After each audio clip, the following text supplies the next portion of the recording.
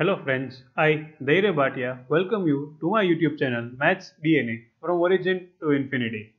In this video, we are going to discuss a question of linear algebra for the state examinations. The exam is the eigenvalues of the triangular matrix given a 3 cross 3 matrix whose entries are 1, 2, 3, 0, 4, 5 and 0, 0, 6 are.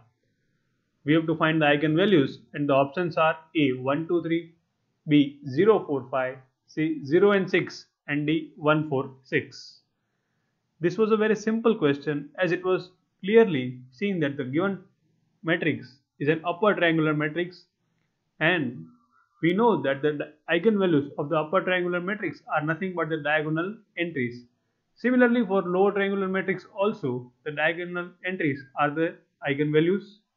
So here they are 1, 4 and 6 which is option D.